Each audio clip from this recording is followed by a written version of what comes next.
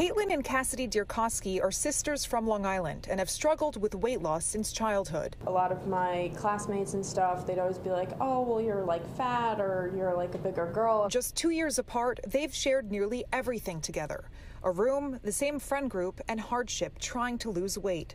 They've tried countless diets and exercise routines, and after much thought and consideration, decided on gastric sleeve surgery. All that we're doing is removing about three fourths of the stomach, reducing the capacity of the stomach to hold food. And so uh, instead of getting full after you know 10 to 12 ounces, our patients really feel that satiety, feel that sensation of fullness after four to six, uh, eight ounces. The decision wasn't met without criticism from friends and family. Why are you doing that? Can't you just work out? Definitely didn't make me feel good, but then I was just like, I'm doing it for myself. With a high BMI and their weight in the high 200s, they wanted to start feeling good and avoid health issues in the future that obesity is linked to.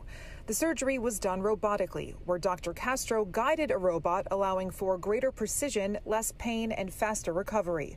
He knocks any notion that this is a quick and easy fix. I really would, would uh, challenge someone to tell me that making a decision to undergo general anesthesia, a general surgical procedure, prepare for five, six, seven months, and have a recovery that's not, you know, it's not terrible, but it certainly isn't, you know, a walk in the park tell me that that's the easy way out for anything. It's been a difficult road getting here, but they lean on each other for motivation. I would not have been able to do this alone. I definitely would not have been able to do it without Caitlyn. And mom has been a pillar in the process too. I'm so proud of them and I love them and I know they always yell at me because they say you're you're on me or you're hounding me or but that's what a mom does because she loves you and only wants what's best for you. And the girls have two upcoming vacations next year, a trip to Europe and and a cruise in the Caribbean.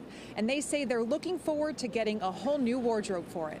In Forest Hills, Michelle Ross, Pix 11 News.